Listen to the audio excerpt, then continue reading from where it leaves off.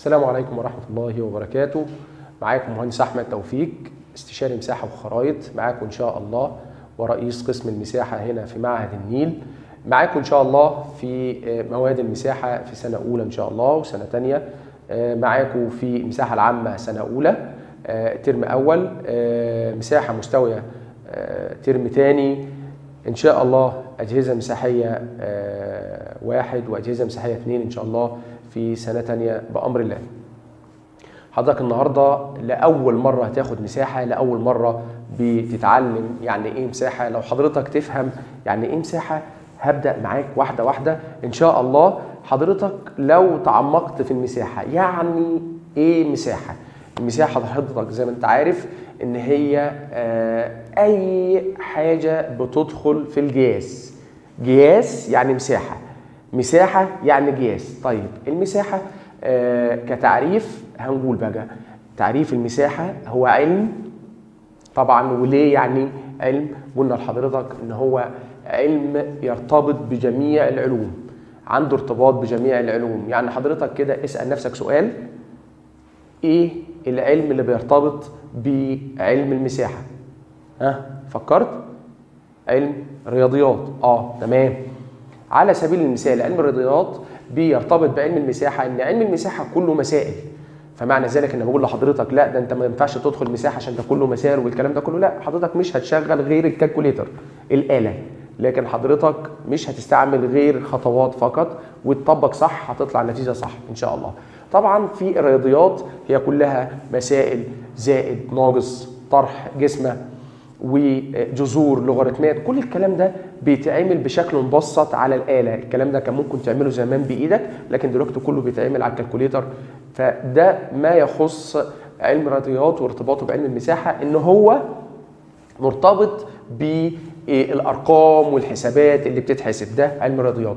طب حضرتك ممكن أقول ارتباط علم الجغرافيا. برافو عليك. الجغرافيا. ارتباطها بعلم المساحة. المساحة يعني جغرافيا والجغرافيا يعني خريطة والخريطة عبارة عن مساحات عبارة عن مسافات عبارة عن أطوال. فده يعتبر إن علم المساحة هو مرتبط بالجغرافيا أو علم الجغرافيا إن هو جزء لا يجزأ من علم الجغرافيا. المساحة هي هي الجغرافيا يعني قياس فالخريطة حضرتك لما تيجي تشوف السنتي أو الملي اللي موجود على الخريطة بيمثل كام على الطبيعة. هي دي علم المساحة. إن شاء الله بتاخدها في محاضرة كاملة معانا في أمر الله.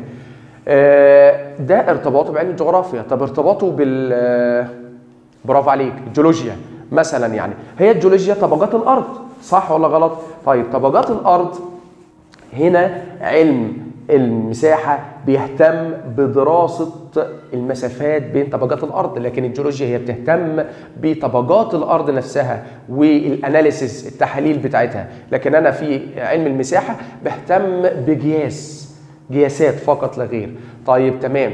حضرتك تقدر تقول إن أي حاجة فيها قياس أنت حضرتك بتستخدمها في علم المساحة. حضرتك لو تعبت في يوم من الأيام ورحت عند الدكتور والدكتور قال لك آه ده أنت معاك ممكن حصوة كده على جنبك أو حصوة معينة في الحالب أو في على الكلى والكلام ده. فبيبدأ يقيسها لك.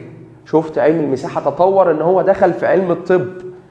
علم المساحة بيبدأ يقيسها يقول لك ده آه ده الحصوايه دي الحصوة اللي عندك طولها سنتي في عرض 5 ملي يعني نص سنتي. يعني طب دخلها دخل إزاي؟ وجاس الكلام ده هو ده التطور بتاع علم المساحة.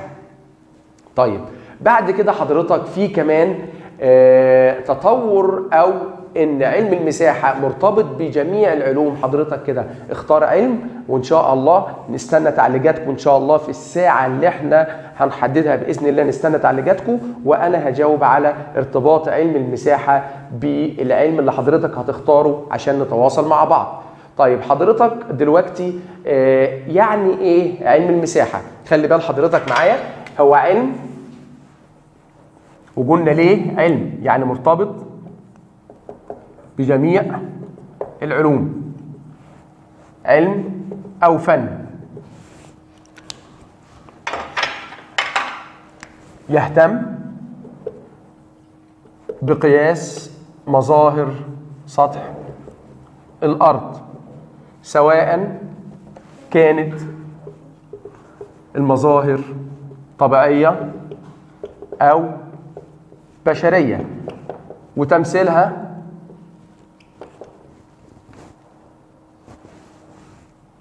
على لوح أو خرائط بمقياس رسم معين. يعني إيه الكلام ده؟ قلت لحضرتك إن هو علم عشان هو مرتبط بجميع العلوم. فن حضرتك وأنت شغال في المساحة لازم يكون عندك ابتكار. كل شوية في ابتكار كل شوية بتطلع ممكن تجيز بطريقة وغير وزميلك يجيز بطريقة تانية. ممكن حضرتك تجيز بش... بحاجة معينة شكل معين وهو يجيز بشكل معين تاني. ده اللي بنتعلمه في علم المساحة إن هو علم أو فن يهتم. حضرتك ممكن عندك هواية إن أنت بتهتم بلعب الكورة. هنا بقى المساحة هو كل اهتمامها بيصب إن هي قياس. بتهتم بقياس مظاهر. يعني إيه مظاهر؟ مظاهر أي حاجة موجودة على مستوى سطح الأرض هو مظهر من مظاهر سطح الأرض. سواء كانت المظاهر دي طبيعية أي حاجة طرق كباري آه، جبال وديان أنهار بحار محيطات وهكذا. كل المظاهر دي هي بالنسبة لنا إحنا بنجسها أو بنعمل لها عملية ال measurement القياس أو ال distance قياس المسافات.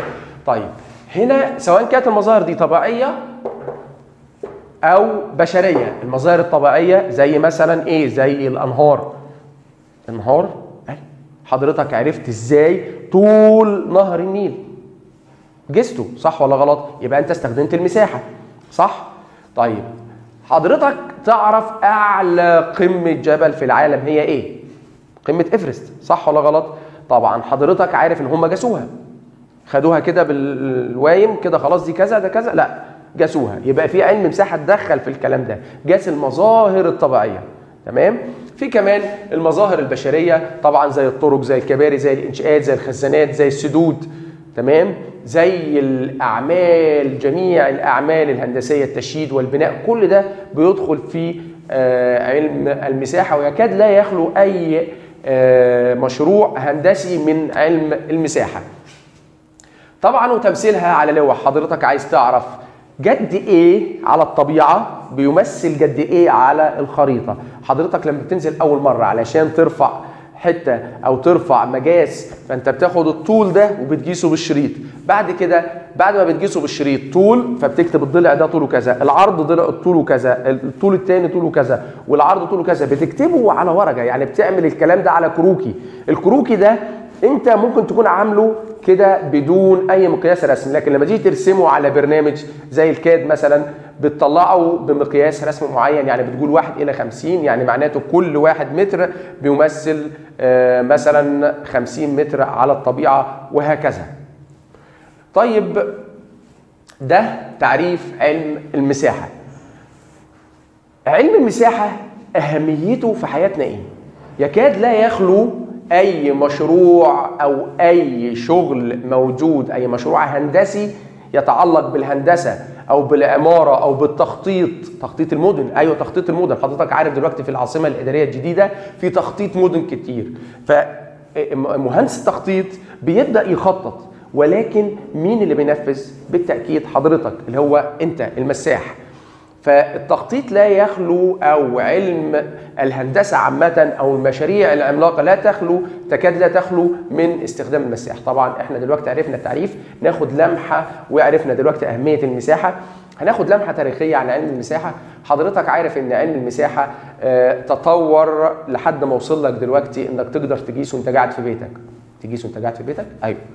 طيب حضرتك آه، علم المساحة اتطور. كان أول ناس اشتغلوا بعلم المساحة هم القدماء المصريين وبعديهم كان الاغريق كان اليونانيين والإغريق اشتغلوا بالكلام ده. طيب حضرتك المصريين اشتغلوا في علم المساحة كانوا بيستخدموا حاجة اللي هي الحبال الحبال اللي هي من الليف تمام؟ بيشدوا من هنا لهنا عشان يعرفوا آه القيمة دي كام. طبعا ما كانش عندهم متر. فبيبدأ كانوا بيقيسوا بحاجه اسمها الذراع الذراع ده كان بيقيموه كده أو عملوا standard أو reference حاجة مرجع ليهم اللي هو الحبل ده. وكانوا مهندسين مساحة في الوقت ده بيسموهم شاد الحبال. وكانوا بيقيسوا حوالين نهر النيل أو وادي النيل عشان يجمعوا ويقولوا إحنا عندنا هنا كام آه وحدة مزروعة يبدأ يجمع عليها الضرايب. ده اللي كان بيتعمل عند قدماء المصريين. تطور الأمر. طبعا حضرتك تعرف إن قدماء المصريين كانوا بارعين في مجال المساحة والفلك مع بعض. لذلك اتجاهات الأهرامات لحد دلوقتي هي هي الاتجاهات الصحيحة. يعني الهرم بيشير في اتجاه الشمال والشرق والجنوب والغرب. كل الاتجاهات صحيحه 100% وده كان نتيجة تطور علم المساحة والهندسة المعمارية. آن وقت الكلام ده. آنذاك. طيب بعد كده تطور الأمر إن حضرتك بعد كده آه بدأوا يستخدموا حاجة اسمها آه آلة اسمها الديكوبتر عبارة عن حديدة هنا وحديدة هنا وبيشدوا بينهم خيط وبيبدأوا يويموا ما بينه. تطور الأمر بقى في حاجة اسمها الجنزير. الجنزير ده عبارة عن سلسلة مع بعضيها بيبدأ يقيس بيه. تطور الأمر تم اختراع آه الشريط والشريط ده كان في العصور الوسطى تم اختراعه. في فرنسا في بعد الثورة الفرنسية في العصور الوسطى تم اختراع الكلام ده وبدأ يعمل ستاندر أو حاجة ثابتة عنده أو حاجة فيكسد ثابتة يبدأ يشتغل منها وياخد منها الطول والعرض ويقيس بيها مسافات وكان هو اختراع المتر وتم بعد كده ترقيته بعد كده تم ترقيته في خلال أجهزة هشرحها لحضرتك.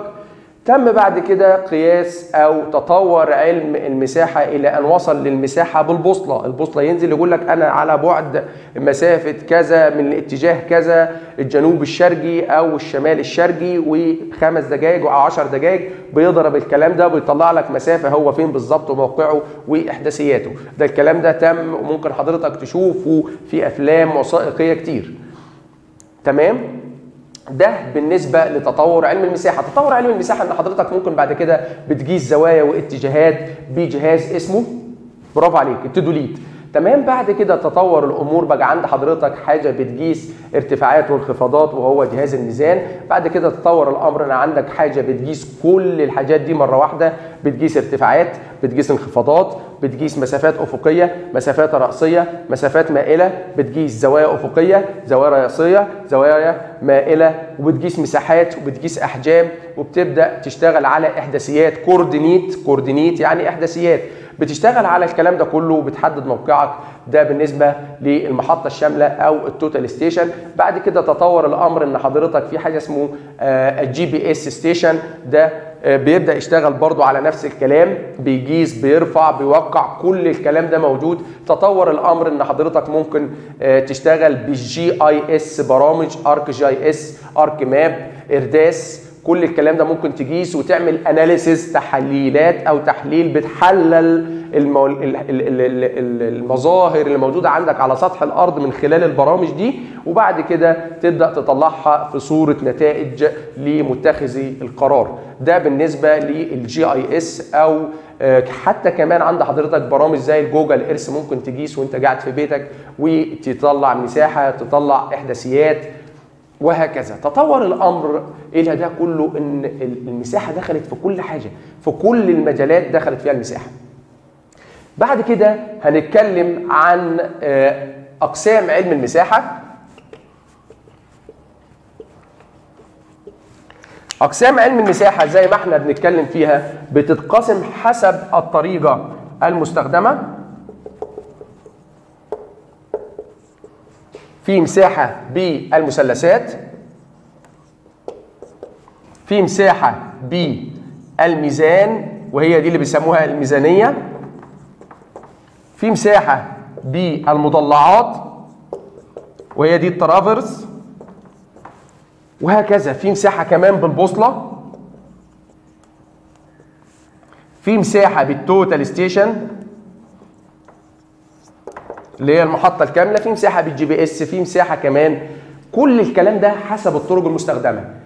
في بقى مساحة حسب استخدام الجهاز زي برضو ما بنتكلم عليها زي ال total station زي ال GPS زي زي زي كل البرامج دي اللي إحنا اتكلمنا عليها دلوقتي أو كل الأجهزة دي اللي إحنا اتكلمنا عليها دلوقتي. في كمان مساحة تم تقسيمها إلى جزئين.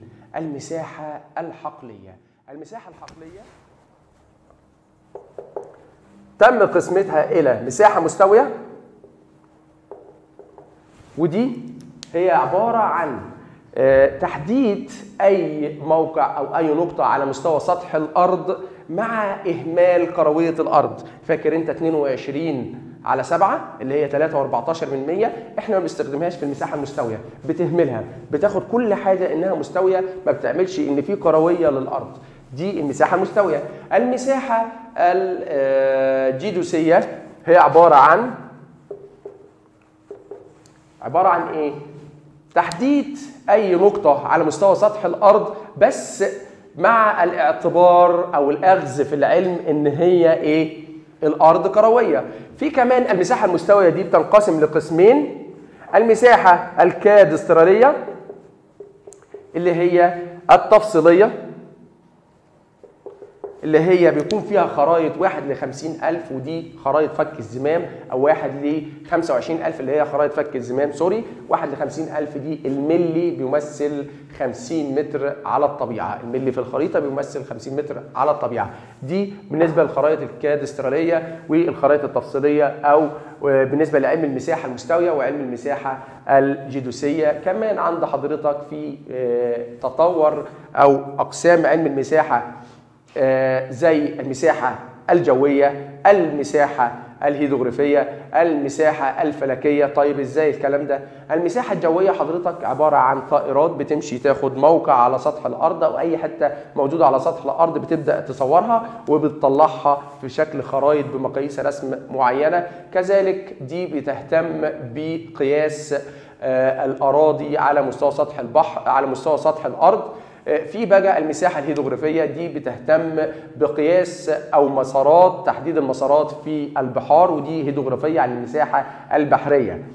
في كمان المساحة الفلكية دي بتهتم بتحركات الأجرام السماوية وحضرتك عايز تعرف النهاردة آه، أو بكرة رمضان أو لأ بيتم استخدام التلسكوبات دي لها حسابات معينة ولها شغل معين في شغل المساحة ويبدأ يطلع لك حضرتك القمر ظهر ولا لسه وهكذا. ده المساحة الهيدوغرا المساحة الفلكية وعلاقتها بالمساحة. حضرتك كمان في علوم أخرى زي آه، ما حضرتك هتشوف دلوقتي معايا على حضرتك دلوقتي معايا آه، ده آه، علم المساحة وده الكتاب بتاع حضرتك اللي حضرتك هتستلمه والإدارة هتبعته لك سواء كان عن طريق إن هو paper ورق أو PDF وحضرتك هتستلمه. ده تعريف علم المساحة. ودي لمحة تاريخية عن علم المساحة وده جهاز الديكوبتر أو الدوبتر. في كمان أهمية علم المساحة. أقسام علم المساحة زي ما قلت لحضرتك دي مساحة جدوسيه وزي ما شرحت لحضرتك دلوقتي. ودي شبكة مثلثات جدوسيه ودي المساحة الطبوغرافيه اللي هي بتاخد ارتفاعات وانخفاضات وبتهتم بقياس الارتفاع طبوغرافيا يعني تضاريس يعني ارتفاع وانخفاض. طبوغرافيا يعني تضاريس حاجة مرتفعة وحاجة منخفضة. بعد كده المساحة التفصيلية وهي آه، منها بنعمل خرائط ودي اللي هي الكادسترالية. وده آه، دي مساحة زي ما حضرتك شايف دلوقتي الجيدوسية والطبوغرافية والمساحة المستوية. طبعا بتنقسم إلى مساحة طبوغرافية وتفصيلية. وبنبدأ نقسمها آه، تبعا لعدة وجوه. منها التصنيف الأول تبعا للطبيعة المساحة الأرضية والملاحية والجوية والفلكية. والتصنيف طبعا وراء ما وراء الهدف. في مساحة أثرية في مساحة جيولوجية معدنية عسكرية. كل الكلام ده بيستخدم في حاجة معينة. المساحة المدنية طبعا اللي هي أعمال الرفع والتوقيع.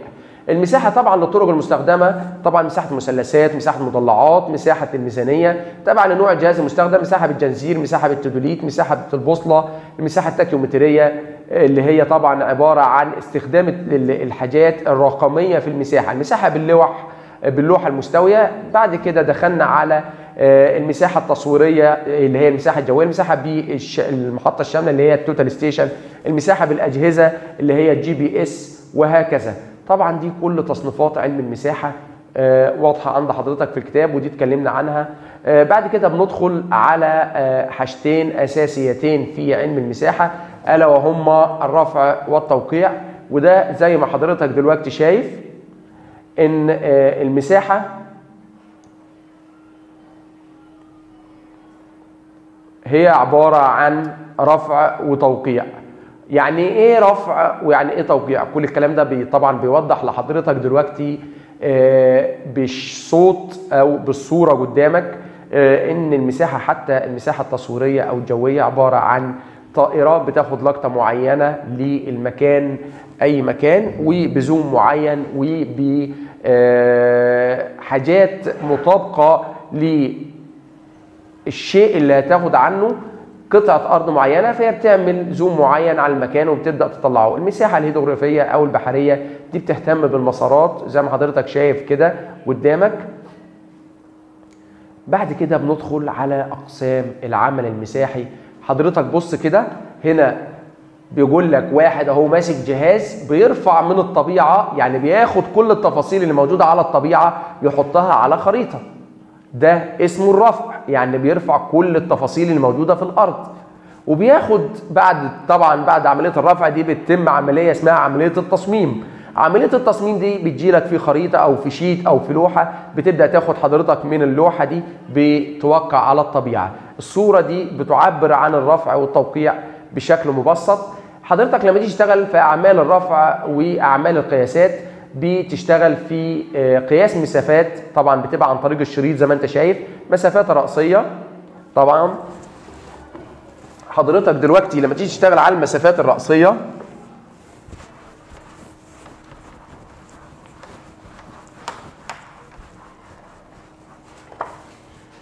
المسافة الرأسية دي كده دي اسمها الرأسية. المسافة الأفقية ودي اسمها مسافة مائلة. تمام؟ دي مسافات رأسية دي مسافات أفقية دي مسافات مائلة. طبعا حضرتك برضو لو هتشتغل على زوايا وده بيبقى عن طريق آه، التدوليت برضو بيبقى فيه زوايا رأسية وزوايا مائلة وفي زوايا أفقية. هنا أو هنا. تمام؟ ده بالنسبة لقياس الزوايا دي أنواع القياسات. في كمان مناسيب. المناسيب دي بيتم استخدام جهاز الميزان. الميزان بياخد ارتفاعات وانخفاضات هتقول يعني ده ما بيقيسي فعلا جهاز الميزان مش بيقيس. جهاز الميزان بيبدأ ياخد حضرتك ده مرتفع وده منخفض. عن إيه؟ عن البحر أو مستوى سطح البحر. ده إن شاء الله اللي أنت هتاخده في المساحة المستوية. هنا بعد كده عند حضرتك ال total station ده بيتم قياس مسافات أفقية رأسية مائلة بيتم قياس زوايا أفقية رأسية مائلة بيتم قياس مناسيب ارتفاعات انخفاضات بيتم قياس آه، إحداثيات وحجوم ومساحات. أيوه ال total station بيعمل كل حاجة. ده بالنسبة لل total station وأنواع القياسات اللي بيتم قياسها عن طريق ال total station وهكذا. طيب بنبدأ بعد كده عند حضرتك. بنبدأ ناخد أنواع أو وحدات القياس. خلي بال حضرتك معايا.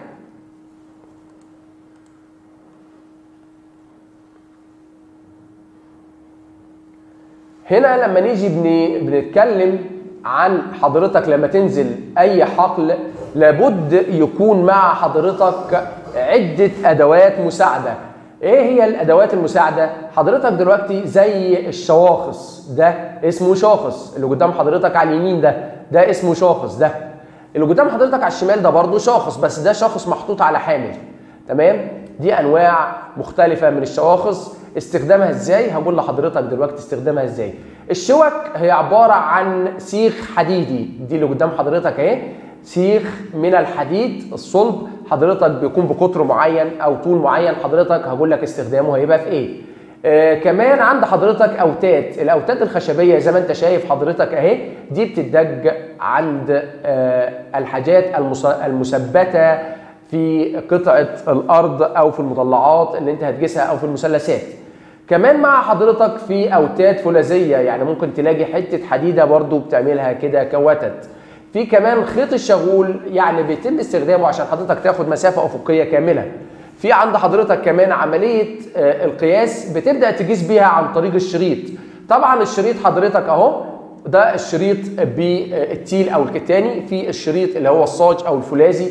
آه، طبعا هو ال ال ال ال أحسن شريط منهم هو الشريط الفولاذي مش الشريط الكتاني أو آه، البلاستيك لأن هو كده كده بيتمدد بالحرارة وينكمش بالبرودة لكن الشريط الفولاذي هو لا يتمدد ولا ينكمش ولكن ليه عيب واحد بس إن هو بيتكسر معاك.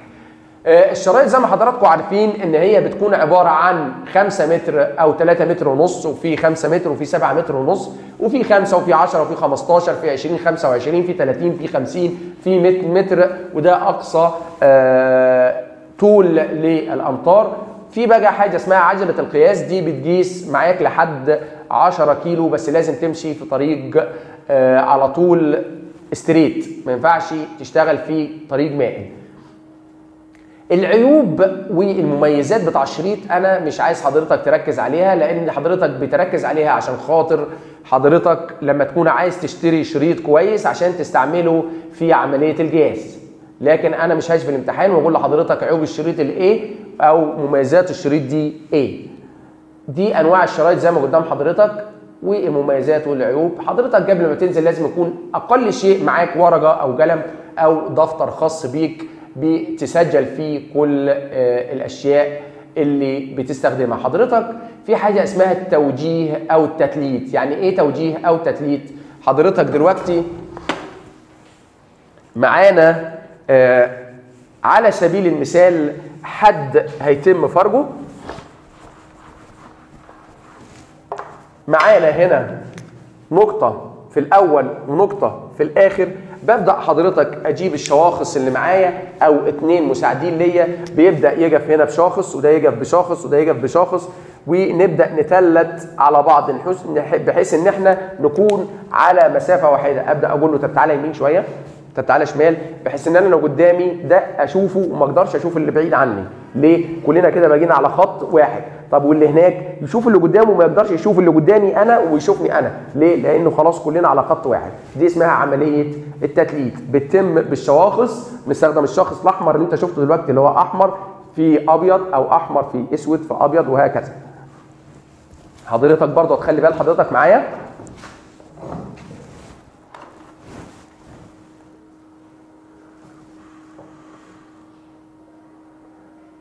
دي كلها خطوات العمل بالشواخص أو التتليت زي ما حضرتك شايف هو بيجف بيكون معاه حد واقف بيبدأ يوجه يحرك النقطة A والنقطة B بيبدأ يقول له تعالى يمين تعالى شمال لحد ما بيطلع آه، الخط آه، بشكل مستوي. حضرتك في حاجة اسمها القياسات المباشرة. طبعا دي قياس المسافات الأفقية وبتبدأ برضو عن طريقها بتقيس المسافة بالطول والعرض. بعد كده حضرتك بنبدأ ناخد آه، آه، قياس المسافة على أرض مائلة ودي باسمها المسافة المائلة. آه، طبعا المسافة المائلة والمسافة الأفقية طبعا قلنا إن المسافة المائلة أو المسافة الأفقية عند حضرتك هنا. المسافة الأفقية والمسافة المائلة والمسافة الرأسية. تقدر تقول ده ألف باء جيم. هنبدأ نستخدم نظرية فيثاغورس وهي عبارة عن ألف باء تربيع تساوي باء جيم. تربيع ناقص ولا زائد؟ برافو عليك. ناقص جيم ألف تربيع. بتبدأ حضرتك تاخد دي طبعا المسافة الرأسية. تمام؟ بتبدأ تاخد المسافة الأفقية ناقص المسافة المائلة وبتطلع المسافة الرأسية. كمان لو حضرتك عايز تبدل بين المسافات المسافة الرأسية والمسافة الأفقية بتبدأ تقول المسافة الأفقية تساوي آه، اللي هي باء ج تربيع بتساوي أ باء تربيع زائد ج أ تربيع وبيطلع لك المسافة عن طريق القانون ده وهي نظرية فيثاغورس. ده نظرية فيثاغورس. هو عبارة عن المسافة الأفقية أو المسافة الرأسية بتساوي المسافة المائلة ناقص المسافة الأفقية اللي هي ج أ تربيع ناقص باء ج تربيع بيدي لك المسافة الرأسية بتاعت حضرتك. عندنا قانون تاني اللي هو جي ال- ال- الأفقية بمعلومية الزاوية معلومية الزاوية. عند حضرتك مسافة مائلة بتضربها في جتا الزاوية اللي ما بين المسافتين المسافة الأفقية أو الرأسية. ودي حضرتك هتاخد عنها فكرة دلوقتي.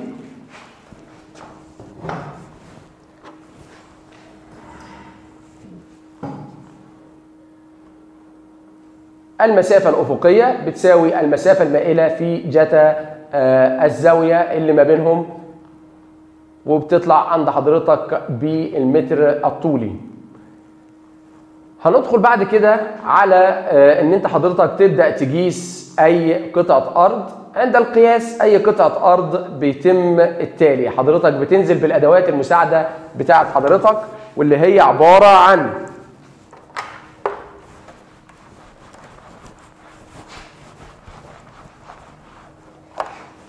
عبارة عن أول حاجة أنا لما أجي أقيس أول أدي قطعة الأرض بتاعتي ببدأ أقول للناس اللي عندهم قطعة الأرض. بين لي الحديد اللي عندك. بيبدأ يبين الحديد بتاع الأرض بتاعته. ببدأ أحط على أول قياس بالنسبة ليا وتد. وبعد كده ببدأ أتحرك. طبعا المتر بتاعي لو كان 100 متر آه، مثلا بعد ال 100 بروح حاطط شوكة. بعد المية التانية بحط شوكة.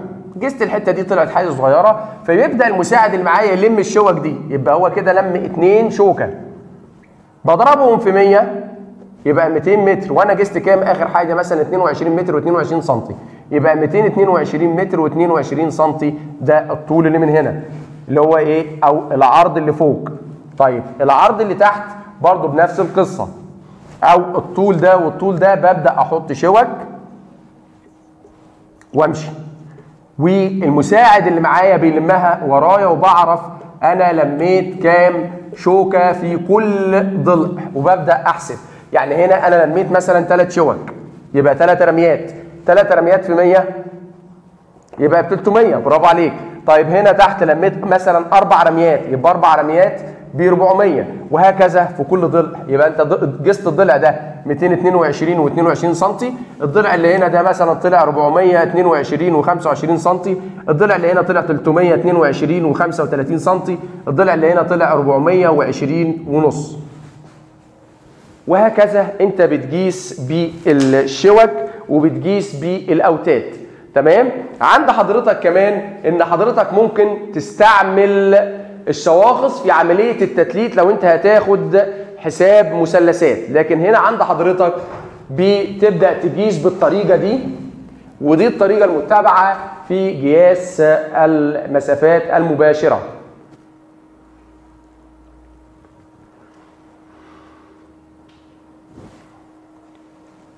بعد بعد كده حضرتك في آه تمرين عند حضرتك في الكتاب صفحة 23 هتبدأ تحله.